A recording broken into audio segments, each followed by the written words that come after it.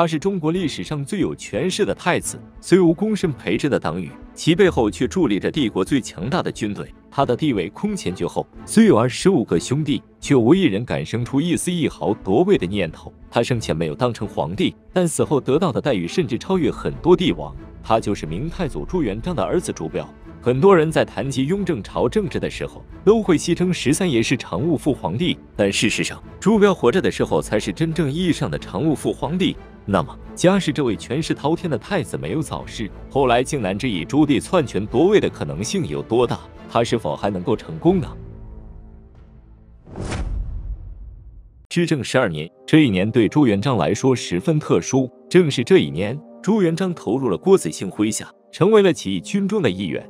朱元璋虽然出生贫苦，仅是粗通文墨，但精明能干，处事得当，作战时勇猛无畏，常常身先士卒，在军事方面有着非同常人的天赋，因而得到了郭子兴的赏识和信任。郭子兴还将自己的养女马氏嫁给了朱元璋，马氏理所当然的成为了朱元璋的结发妻子，也就是日后的孝慈高皇后。马氏虽是郭子兴的养女，但郭子兴夫妇向来非常疼爱她，对她多加培育。马氏本人也不负所望，聪慧端庄，能诗会画。出生草莽的朱元璋后的贤妻自然十分欣喜。更何况马氏在朱元璋的事业上也颇有注意。郭子兴虽然器重朱元璋，但他性情暴躁，既财护短，又好听谗言，迟疑寡断，在旁人的挑唆下，也曾多次猜疑朱元璋，对他加以斥骂。一次，郭子兴发怒。将朱元璋禁闭在空室，不许进食。马氏得知后，亲自到厨房切炊饼，怀已尽，肉为焦。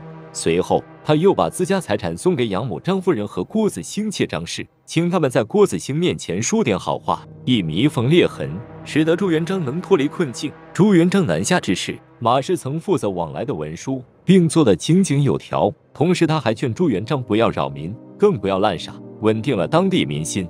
战争带来的离别并没有冲淡夫妻二人的感情，反而更加稳固了他们之间的关系。但在结婚后最初的三年内，夫妻二人没有能生下儿子，于是他们就收养了朱元璋的亲侄朱文正、外甥李文忠，还有定远孤儿穆英。马氏对这三个养子视如己出，悉心照顾。直到龙凤元年，朱标出生，朱元璋才有了真正意义上的长子。朱标出生的时候。朱元璋正在吉庆前线，虽然没有见证长子的出世，但听到这个消息的朱元璋大喜过望。不久，朱元璋拿下吉庆，设立应天府，建立了自己的根据地。直到此时，朱元璋才拥有了逐鹿天下的资本。而卡在这个当口出生的朱标，仿佛正是天意选定的继承人。朱元璋望着眼前尚在襁褓的孩子，目光饱含着宠溺和希望，一腔热血在他的体内涌动着。那是朱元璋统一山河的野心，也是对朱标未来的展望。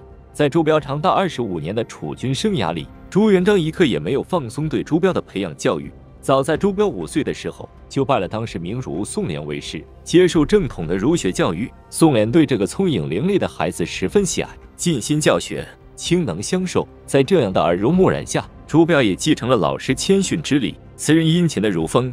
后来，宋濂因家族牵扯进胡惟庸一案中，也幸得朱标及其母亲马皇后的力保，才免于一死。一三六四年，朱元璋在应天府自立为吴王，同时将朱标立为世子。这时候的朱标不过才九岁，已经正式获得了继承人的身份，足以见得朱元璋在立储这件事情上丝毫没有过其他的打算。吴元年，朱元璋令十二岁的朱标父林豪祭拜祖墓，希望借此行来切身训练朱标为人君的眼界和处事。临行前。朱元璋教导朱标说：“古代像商高宗、周成王都知道小民的疾苦，所以在位勤俭，为守成明君。你出生富贵，喜悦安乐，眼下能外出锻炼，切不可荒废了这次机会。要好好观察百姓的生业，以知衣食艰难；体察民情的好恶，以知风俗美恶。到老家后，要认真访求父老，以知我创业的不易。”朱元璋一出生就饱尝了民间疾苦，从一介颠沛流离的布衣走到今天。没有人会比他更能体会到其中的艰辛，他自然希望朱标能够切身感受到其中的不易，秉承勤俭之风，造福百姓。次年，明朝建立，朱元璋立朱标为太子，大封诸将为公侯，其中以五大将、一大臣为开国元勋，分别为韩国公李善长、魏国公薛大、郑国公常遇春、曹国公李文忠、宋国公冯胜、魏国公邓禹。除此之外，还有一大批文臣武将得到了追封，这些功臣的大部分都成为了所谓太子党的班底。与历朝历代结党攀师的党派不同的是，这个太子党是由皇帝本人亲自赋予的。大明建立不久，中书省都督府刚刚成立的时候，就有大臣请示让朱标当中书令。朱元璋不许，说道：“儿年未成，学未充，更事未多，以尊礼师傅，习经传，博古通今，十大记忆。他日军国务重，皆令启文，何必为中书令？”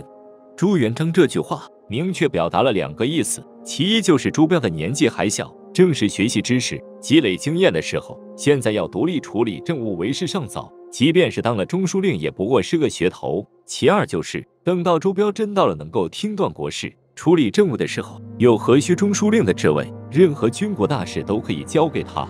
要达到第二个阶段的目标，首先就要度过第一个阶段。为了训练出理想的继承人，朱元璋处心积虑。费尽心机，不仅广聘名儒，在宫中特设大本堂，贮藏各种古今图书，让朱明儒轮班为太子和诸王讲课，并挑选才俊青年伴读。还在教学中严格要求太子的一言一行都需按礼法行事，甚至太祖自己也时常自言赋诗，商榷古今，现身说法。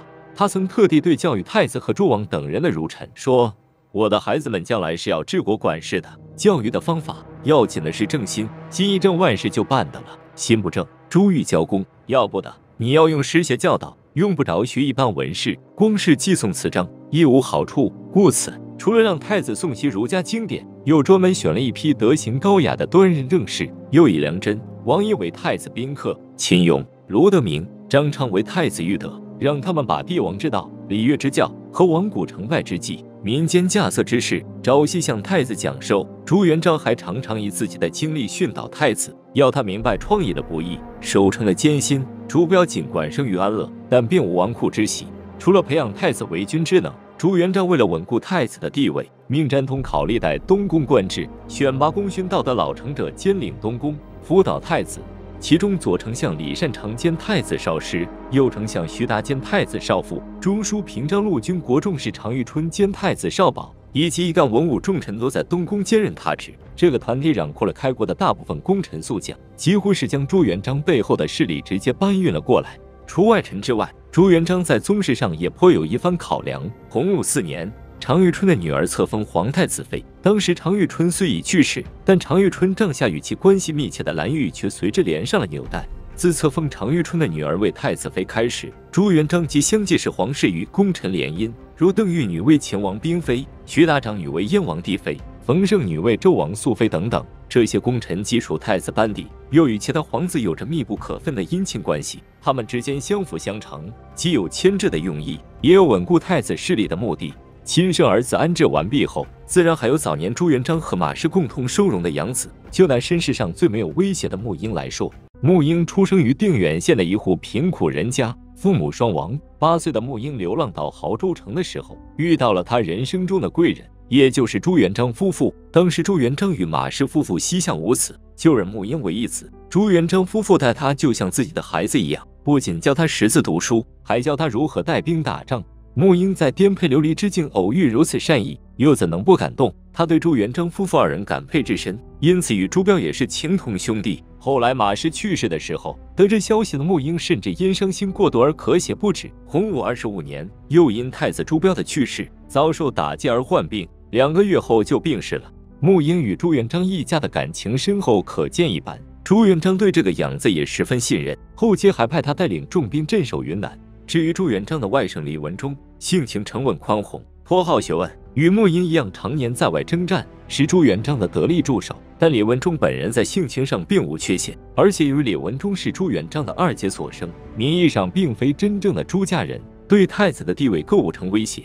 唯有朱元璋的侄子朱文正不同，朱文正不仅属于真正的朱家人，而且他军事能力极强，官至大都督，在军中有着很高的威望。当朱文正在军中如日中天的时候，朱标尚才六岁。如果朱元璋不采取行动，那么等到朱标成年的时候，朱文正已经在军中建立了难以撼动的地位。一个手握重兵、功高震主的宗室，势必会对朱标的统治产生很大的威胁。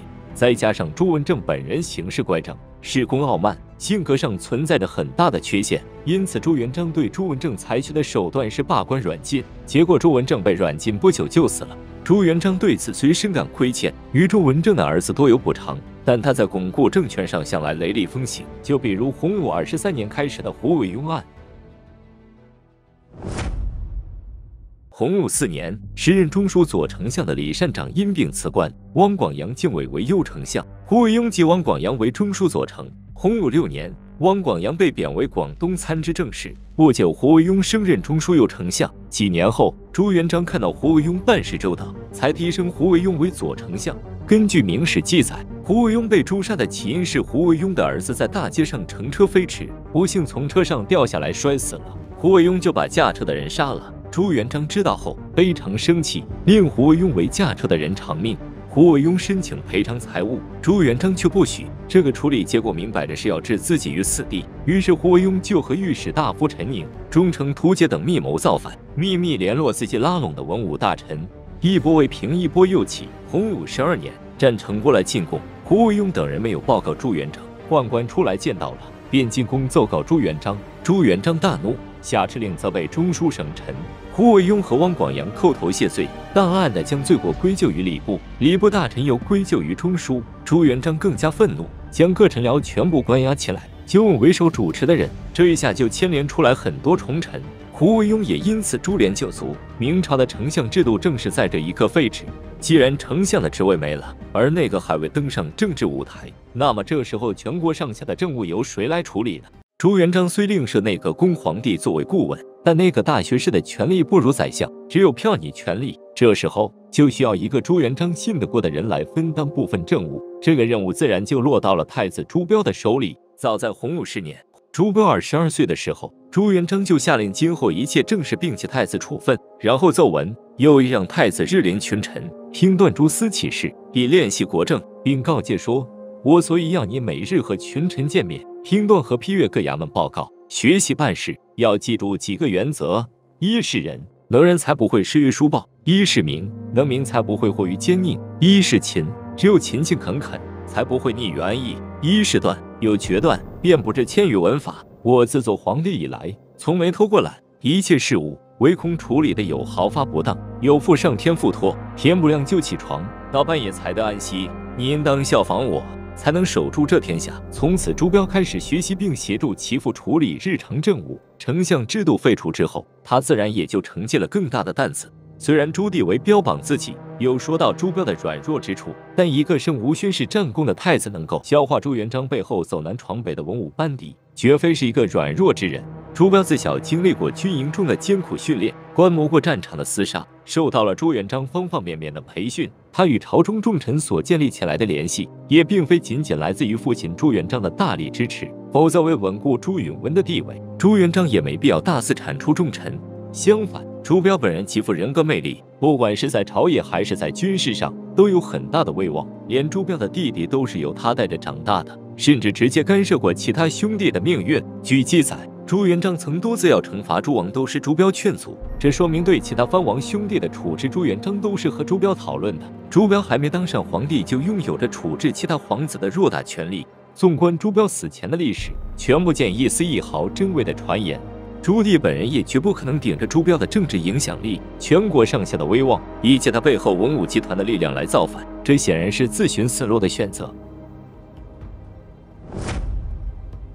洪武二十四年。朱元璋有迁都西安的想法，于是命朱标巡视陕西，同时受封于这里的秦王朱赏，因为在当地多次犯错而被召回京师。朱标此行也为调查一下秦王的言行。朱标巡视归来后，现陕西地图，又替秦王说情调解，朱元璋才让朱赏回西安。朱标自秦中视察返京后不久就生了病，在生病期间还向朱元璋上书关于筹建都城的事。次年。朱标病死，朱元璋得知大痛，将他附葬在孝陵东侧。十一文太子